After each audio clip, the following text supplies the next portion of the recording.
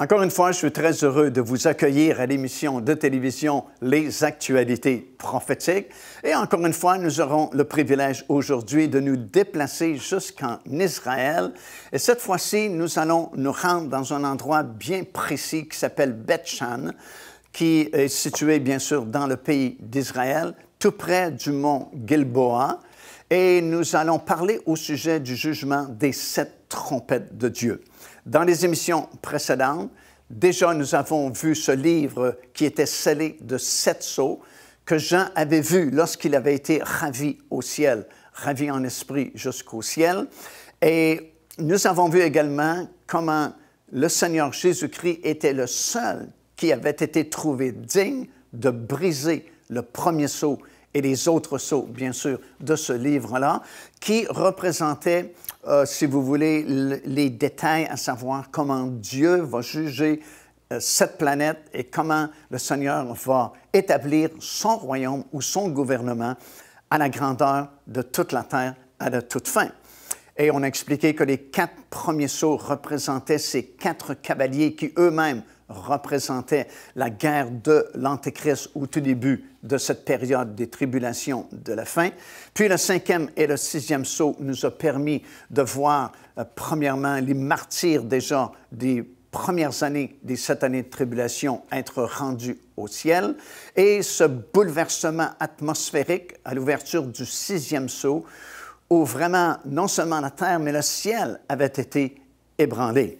Puis entre le sixième et le septième saut, il y avait cet intervalle qui nous a permis de voir comment 144 000 Juifs en Israël ont été scellés d'un saut de protection et cette grande foule soudainement qui est arrivée au ciel vêtue de robes blanches. Et après le septième saut, lorsque celui-ci fut ouvert, soudainement on a vu sept anges qui sont des anges d'un groupe très particulier puisqu'évidemment, il y a des rangs également d'autorité chez les anges. Il y a comme une hiérarchie. Il y a, des anges, il y a des séraphins, il y a des euh, archanges, il y a des, euh, des autorités différentes. il y a un groupe tout particulier qui s'appelle le groupe des veilleurs, dont Daniel nous a parlé abondamment dans son livre, dans l'Ancien Testament. Alors, ce sont des autorités différentes, des groupes des catégories, si vous voulez, d'anges différents, une hiérarchie parmi les créatures angéliques. Et ces sept-là sont d'une autorité supérieure et jouissent d'un privilège vraiment très grand, puisqu'ils ont le privilège de se tenir devant la face de Dieu. Nous savons qu'un de ces sept-là, c'est Gabriel, parce que lui-même va s'annoncer de cette façon lorsqu'il est apparu à Zacharie lorsqu'il faisait le service à l'hôtel des parfums pour lui annoncer que son épouse deviendra enceinte et que l'enfant doit être appelé Jean, qui est devenu Jean-Baptiste, qui a préparé la voie du Seigneur dans le désert. Et lorsqu'il s'est présenté à Zacharie, il s'est nommé Gabriel, celui qui se tient devant la face de l'Éternel.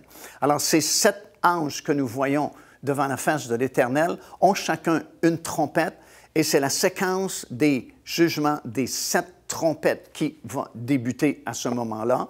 Et vous allez remarquer que les jugements s'intensifient toujours jusqu'à la fin. Et durant la dernière séquence des septièmes coupes, les jugements sont très durs, sont très, très sévères. Mais ici, vous allez remarquer également que les quatre premiers les quatre premiers anges sonnent leur trompette et ça va affecter la terre et la mer, tandis que le cinquième, le sixième et le septième ange, ce sont trois malheurs spéciaux qui s'abattront à ce moment-là sur la planète.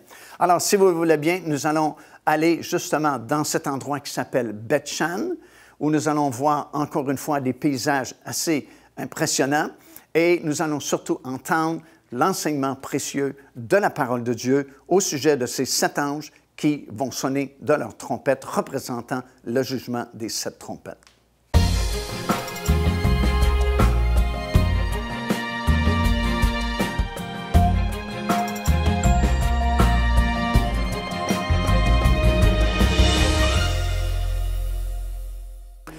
Je suis présentement à Betchan, là où se trouve le magnifique site de l'ancienne cité de Betchan, datant de l'époque romaine. Et vous pouvez voir toutes ces belles colonnes, vraiment. C'est un site magnifique à visiter.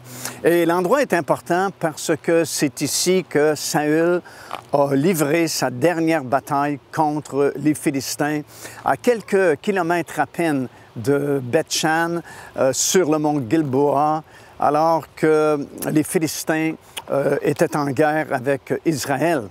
Habituellement, les guerres contre les Philistins se tenaient davantage le long de la côte, euh, le long de la mer Méditerranée, mais pour une raison inconnue, euh, ils ont pénétré vraiment très profondément dans le territoire israélien à l'époque, et c'est pourquoi la bataille a eu lieu euh, dans cette région-ci.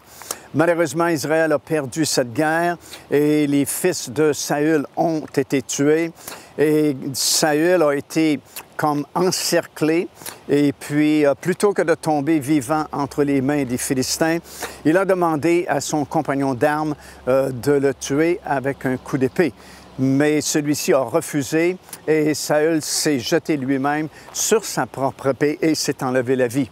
Alors les Philistins sont venus et puis ils lui ont tranché la tête et ils ont gardé son corps et ils ont placé son corps ici sur le mur de Bethshan afin que tout le monde puisse voir leur grande victoire. Alors, c'est un lieu très historique, très riche en histoire et c'est une belle région, évidemment, que nous visitons présentement. Nous sommes en train d'étudier dans le livre de l'Apocalypse. Nous sommes rendus au huitième chapitre. Et dans ce huitième chapitre, c'est euh, l'ouverture du septième sceau, du livre à sept sceaux. Et lorsque le septième sceau fut ouvert, Jean a vu sept anges qui se tenaient là. Euh, nous savons qu'il y a une hiérarchie euh, chez les anges également. Euh, il y a bien sûr les séraphins, il y a les archanges, il y a les chérubins et il y a de simples anges. Mais ces sept anges sont vraiment particuliers parce que nous lisons qu'ils se tenaient devant la face du Seigneur. Et nous avons des versets dans la parole de Dieu de certains de ces anges, dont Michel, et Gabriel, comme nous lisons dans Luc, le premier chapitre et le verset 19, euh, qui disent eux-mêmes qu'ils se tiennent devant la face de l'Éternel. Ils ont ce privilège-là d'être vraiment très, très proches de Dieu, se tiennent devant la face de Dieu. Et euh, dans le livre de Daniel, dans le quatrième chapitre, des versets 13 jusqu'au verset 17, nous réalisons que ces sept anges particuliers euh, font partie d'un groupe qu'on appelle les veilleurs. Et euh, c'est un groupe très sélect, très particulier, euh, d'anges très puissants qui euh, se tiennent devant la face de Dieu et qui sont souvent appelés à accomplir des missions très spéciales, des missions très particulières. Alors, ces sept anges ont sept trompettes parce que là, on va débuter une deuxième séquence de jugement. Après la première séquence des sept sceaux, c'est une deuxième séquence, les sept anges vont sonner de leur trompette. Et à chaque fois qu'un ange va sonner de sa trompette, il y a un jugement qui va s'abattre sur cette planète. En fait, les quatre premières trompettes, ce sont des fléaux qui vont atteindre la terre et la mer. Et les trois dernières, la cinquième, la sixième et la septième trompette, sont très particulières parce que ce sont trois malheurs spéciaux euh, que nous allons regarder plus attentivement au cours de cette émission, parce que lorsque le cinquième ange sonnera de la trompette et le sixième et le septième, il y a vraiment trois fléaux euh, vraiment très forts, très intenses qui s'abattront sur la planète. Alors voilà un groupe très sélect, un groupe très particulier, sept anges vraiment très spéciaux qui ont le privilège de se tenir devant la face de Dieu, qui sont souvent utilisés pour des missions spéciales, des missions particulières. Et c'est vraiment une mission particulière cette fois-ci, puisque chacun d'eux euh, détient une trompette et qu'à chaque fois que un de ces sept anges va, va jouer de la trompette, va faire retentir le son de sa trompette, un malheur particulier va s'abattre sur la planète jusqu'au septième. Et lorsque le septième va sonner de sa trompette, encore une fois, une troisième série de jugements qui s'abattront sur la terre. Devenez partenaire avec ce ministère par votre soutien financier et aidez-nous à planter le flambeau de l'Évangile à travers le monde entier. vous recevrez un enseignement audio à tous les mois de la part de l'évangéliste Mario Massicotte, ainsi que notre bulletin de nouvelles prophétiques incluant des enseignements bibliques, des nouvelles du ministère et des commentaires sur les actualités prophétiques. Débutez dès aujourd'hui en visitant notre site web www.paindevie.org ou par courriel à info.paindevie.org ou en nous écrivant à Pain de Vie, casier postal 426 800 Square Victoria, Montréal, Québec, H4Z 1J7.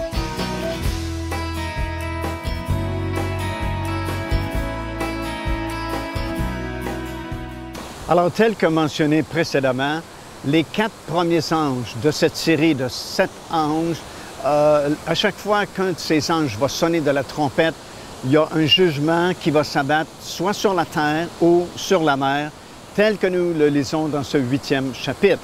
Et lorsque le cinquième, le sixième et le septième ange sonnera de leur trompette, euh, c'est un malheur spécial, vraiment très particulier cette fois-là, qui va s'abattre sur la terre.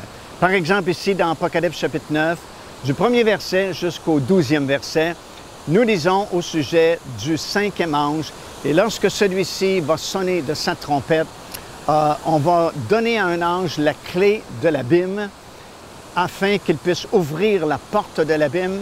Et à ce moment-là, il y a une invasion terrestre de certaines catégories d'anges déchus qui étaient retenus captifs dans l'abîme, gardés là justement pour le temps du jugement de la fin. Euh, l'abîme, c'est la partie la plus profonde du séjour des morts. On sait que selon la parole de Dieu, euh, le séjour des morts est situé dans les régions inférieures de la terre. Alors lorsqu'une personne qui est sauvée décède, elle s'en va directement au ciel dans la présence du Seigneur Jésus-Christ parce que Jésus justement est venu sur cette terre pour inaugurer la route nouvelle qui nous conduit au ciel. Mais lorsqu'une personne meurt sans Christ, étant perdue, plutôt que de monter par cette route nouvelle qui a été inaugurée par le Seigneur Jésus-Christ, montée jusqu'au ciel, elle doit descendre dans les régions inférieures de la terre, dans ce que la Bible appelle le séjour des morts.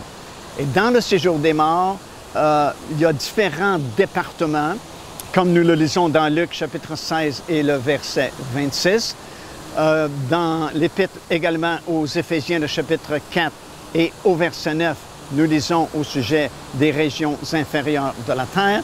Et nous apprenons que dans le séjour des morts, il y a des vallées et différentes profondeurs. Et l'abîme se trouve à l'endroit le plus profond du séjour des morts. Nous lisons ça dans Proverbes chapitre 9 et le verset 18, dans le livre du prophète Ésaïe chapitre 14 et le verset 15, et aussi dans Ézéchiel chapitre 32 et le verset 23. Alors, lorsque on donne à un ange de Dieu la clé de l'abîme, ben, ça va permettre euh, la libération de ces anges déchus qui, à l'époque de Noé, avaient quitté leur demeure et avaient corrompu vraiment la race humaine par euh, des mariages avec euh, les filles des hommes sur cette planète qui avaient donné naissance à cette fameuse race de géants qui existait euh, à l'époque de Noé. Et ils ont été jugés, bien sûr, par le Seigneur et précipités dans l'abîme. Nous lisons ça dans deuxième épître de Pierre, le deuxième chapitre et au verset 4. Également dans l'épître de Jude, le sixième verset. Ça nous explique que ces anges qui avaient abandonné leur demeure et qui ont créé cette race de géants sur la terre il y a très longtemps ont été précipités dans les profondeurs du séjour des morts dans l'abîme elle-même, euh, retenue, enchaînée par les ténèbres, mais gardée pour le jour du jugement à la fin des temps.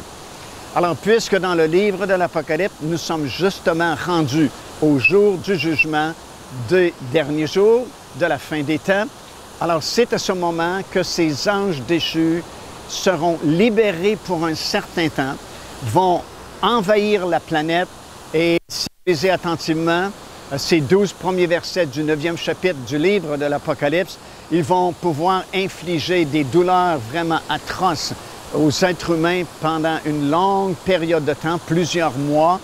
Et ça va être à nouveau une invasion euh, d'anges déchus sur la planète.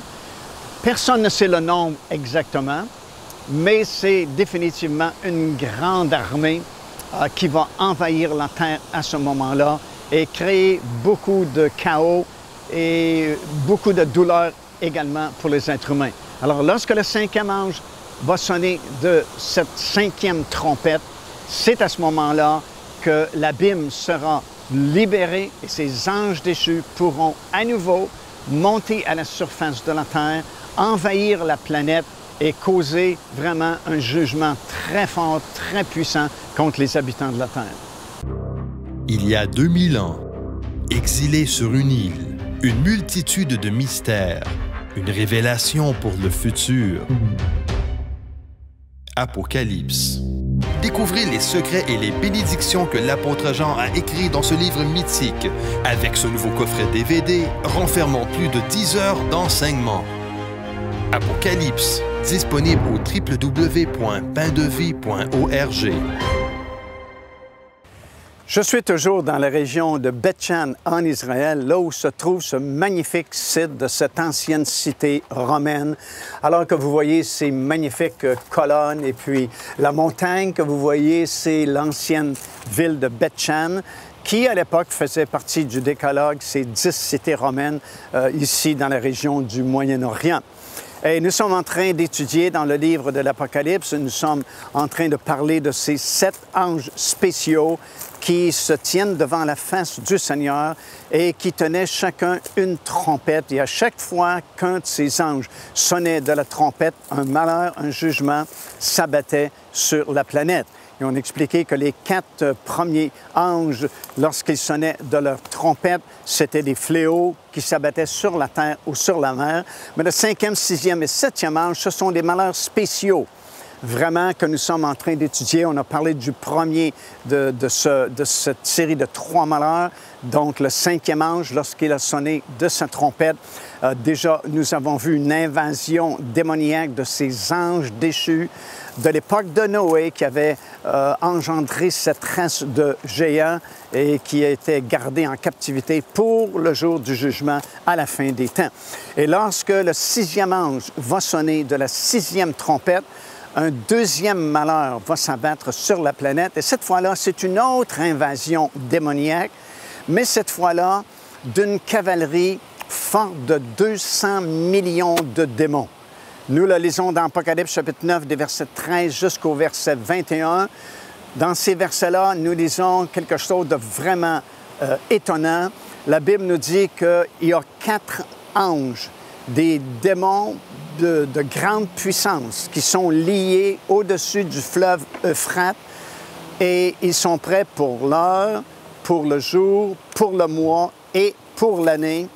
Euh, et lorsque le commandement sera donné, ces quatre anges démons spéciaux seront déliés et lorsqu'ils seront déliés, ça va permettre à une cavalerie démoniaque d'envahir la planète une cavalerie forte, comme je mentionné, de 200 millions de cavaliers. Alors imaginez-vous, déjà, on a une invasion des anges déchus de l'époque de Noé, et maintenant, on a une deuxième invasion démoniaque euh, forte de 200 cavaliers démoniaques qui envahissent la planète et ils auront le pouvoir de tuer un tiers des hommes, un tiers de la population mondiale qui mourront à cette occasion-là. Alors, c'est le deuxième malheur d'une série de trois malheurs, cinquième, sixième et septième trompette.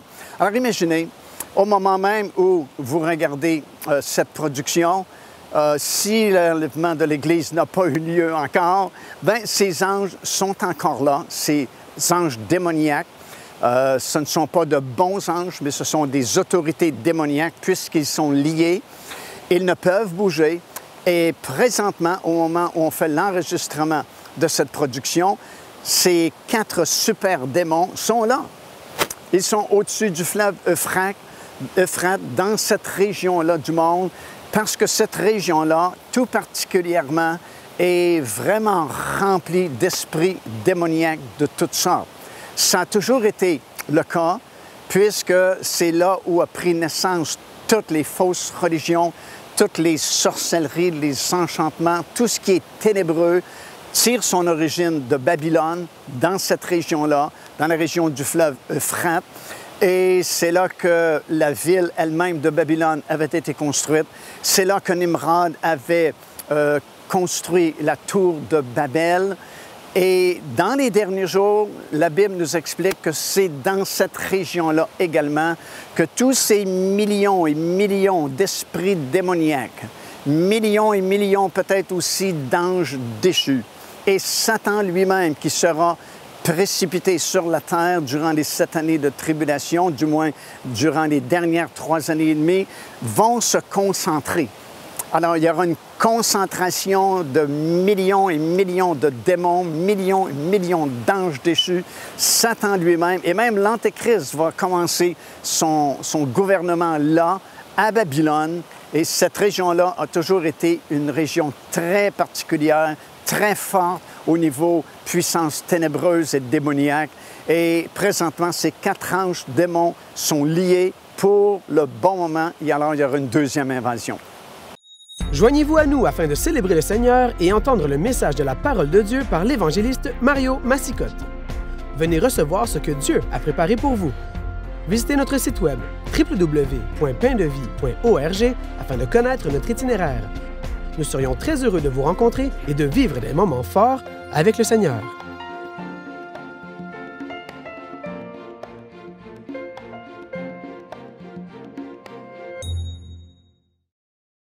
Alors, entre la sixième et la septième trompette, nous découvrons un autre intervalle et durant cet intervalle, plusieurs autres événements devront se produire. Premièrement, euh, nous voyons un ange puissant qui descendra du ciel et la description que Jean fait de cet ange-là ressemble étrangement à celle faite au sujet du Seigneur Jésus-Christ euh, tel que nous le lisons dans le premier chapitre du livre de l'Apocalypse, des versets 13 jusqu'à 16, et aussi dans Apocalypse, le chapitre 5 et le verset 5. Alors, sans aucun doute, il s'agit à nouveau euh, du Seigneur Jésus-Christ, une manifestation du Seigneur Jésus-Christ durant cet intervalle-là qui se produira entre la sixième et la septième trompette. Deuxièmement, Jean va entendre sept tonnerres qui vont faire entendre leur voix, mais nous n'avons aucune explication parce que Jean est venu pour écrire la signification de ces sept tonnerres, mais on lui a dit de ne pas écrire justement la signification de ces sept tonnerres-là, la voix de ces sept tonnerres-là. Alors c'est bien difficile pour nous euh, de tenter de trouver une explication et de savoir vraiment euh, qu'est-ce que ces sept tonnerres représentent. Euh, certains commentateurs bibliques pensent qu'il s'agit d'une autre série de jugements, sept tonnerres, et à chaque fois qu'une voix de tonnerre se fera entendre, un autre jugement s'abattra sur la planète. D'autres pensent que c'est la déclaration du nouveau nom de Jésus, parce que le Seigneur Jésus dit bien dans la parole que lorsqu'il va revenir pour établir son royaume sur la terre, il aura un nom nouveau. Et c'était un peu la coutume à l'époque pour des hauts dignitaires, lorsqu'un nom était prononcé, euh, chaque euh, syllabe, si vous voulez, du nom était précédée euh, d'un son de trompette ou d'un coup de tonnerre. Et certains pensent que c'est la déclaration du nouveau nom de Jésus qui ne peut être dévoilé, évidemment, tant et aussi longtemps que le Seigneur ne sera pas revenu sur la terre que ses pieds ne toucheront pas le sommet de la montagne des Oliviers. Alors, de toute façon, c'est incertain, personne ne peut le savoir de façon définitive, puisqu'on a dit à Jean de ne pas écrire la signification de ces sept tonnerres-là. Tout ce que nous savons, c'est qu'ils existent et qu'il y aura sûrement euh, euh, un moyen de le comprendre lorsque le temps sera venu. Euh, troisièmement, euh, durant cet intervalle-là entre la sixième et la septième trompette, il y a ce petit livre qu'on va remettre à Jean. Et au chapitre 5 du livre de l'Apocalypse, ce livre était scellé, mais maintenant il est ouvert. Alors il s'agit sans doute du même petit livre, le livre à sept sceaux, qui est un livre extrêmement important euh, considérant la rédemption de la planète Terre et de la race humaine, puisque c'est dans ce livre-là que nous trouvons tous les détails et toutes les informations, à savoir comment Dieu va euh, établir son royaume sur la terre qui ne passera jamais. Alors au tout début, comme je viens de mentionner, il était scellé de sept sceaux et c'est l'agneau parfait de Dieu, le Seigneur Jésus-Christ, qui seul était digne d'ouvrir les sceaux de ce livre-là. Et c'est pourquoi ici, le petit livre, il est ouvert et contient les prophéties justement jusqu'au retour du Seigneur. Quatrièmement, le temple est mesuré à Jérusalem ainsi que ceux qui y adorent. Au 11e chapitre du livre de l'Apocalypse, durant cet intervalle-là, entre la sixième et la septième trompette, on va demander à Jean d'aller mesurer le temple. Évidemment, c'est un troisième temple puisque le deuxième et dernier temple a été détruit en l'an 70 et que le livre de l'Apocalypse a été révélé ou écrit en l'an 95 ou 96 de notre ère. Ça faisait donc à peu près 25-26 ans qu'il n'y avait pas de temple sur l'esplanade du temple à Jérusalem. Évidemment, il s'agit d'un troisième temple. Et finalement, euh, nous avons la révélation et l'envoi du ministère des deux témoins spéciaux qui sont envoyés par Dieu afin d'équilibrer les forces entre ces deux témoins-là et les deux tristes personnages, l'Antéchrist et le faux prophète, qui feront un peu la pluie et le beau temps euh, sur la terre durant les trois dernières années et demie des sept années de tribulation. Alors tous ces événements se produiront entre la sixième et la septième trompette. Car Dieu a tant aimé le monde qu'il a donné son Fils unique, afin que quiconque croit en lui ne périsse point, mais qu'il ait la vie éternelle. Téléchargez gratuitement l'enseignement. Le salut, c'est quoi? En visitant notre site web www.paindevie.org et recevez la grâce merveilleuse que Dieu vous offre. Ici l'évangéliste Mario Massicotte qui vous invite à vous inscrire à notre lettre de nouvelles électronique. Et pour ce faire, il suffit de visiter notre site web au www.paindevie.org et tout en haut à la droite de votre écran, vous allez voir cet onglet sur lequel vous cliquez et vous vous inscrivez tout simplement. Ça vous permettra de recevoir des nouvelles du ministère de Pain de Vie et en même temps recevoir le bon enseignement de la parole de Dieu. Faites-le donc aujourd'hui même.